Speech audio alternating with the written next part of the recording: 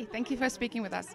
Um, what drew you to this project? Well, it's a, a really interesting project. It's, it's, huge. It's wonderful. It's, it's, any actor wants to be involved in, in, in a big project. Um, and so and it's got an enormous historical theme about it. It's got the theme of um, appeasement. And appeasement, who knows if there's any current um, uh, ramifications going on about, about, about how we, how we uh, are at the moment. I w- I wouldn't know. However, they didn't know then either. And so, whilst Germany was ramping up its, its army, we were desperate not to go to war. And, and the, the First World War had only finished like 20 years before, so they were yearning for there to be no war. So I think Chamberlain gets a very hard time in his desperation and his concern not to, not to go to war again. And I think the themes are huge, and it was lovely to be part of it.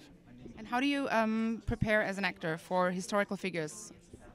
Well, uh, first of all, you uh, look see what's on the page. Uh, which is which is the, what you're ultimately working with. But of course, yes, I did. I read about him. I, I, I studied him. I, I, saw any footage that there was about him, and uh, and did as much research as I could on, on the on the character. How much freedom did you take in in the characterization?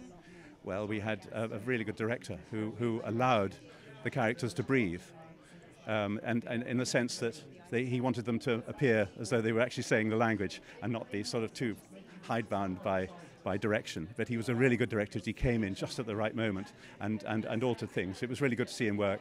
Really good to work with him, and uh, and it, it, was a very, it was very free on set, of course, with the with the language as written.